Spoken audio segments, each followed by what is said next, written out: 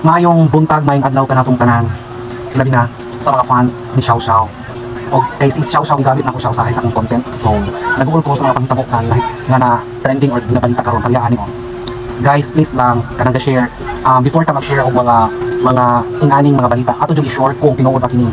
So, mangita ta og um, information or ideas kung kani bang balita nga nag-share ani tinuod si Xiao Xiao no namatay na which is akong i-share guys. Akong i-search ang mga ang situation ana. Murag ang istorya buno na ban buno ang account ni Xiao Xiao kay agyan ang kuan daghan nagbuli sa iya ha pero sa ako ang napansin kaning nagsige sharing ani nga naay namatay kuno tapos na link nga gibutang i-click mo dito sa Lazada.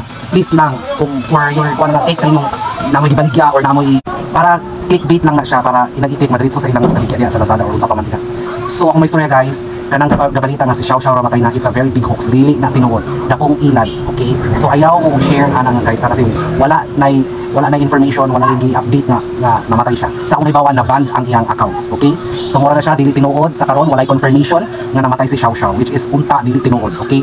So hope nga kanang sige share diha ayaw taon mong patakag share, search jud ninyo kung mga legit ba nang ga, ga, share ana og sakto ba na sila og na may mga link nga gikuan di lang gi-share. Dili yung paplukon kung tinuod ba na di ba kasagaran sa Lazada mo eh, So please lang, don't spread false information. Okay? Thank you so much. This is Xiao Xiao supporter. Ring.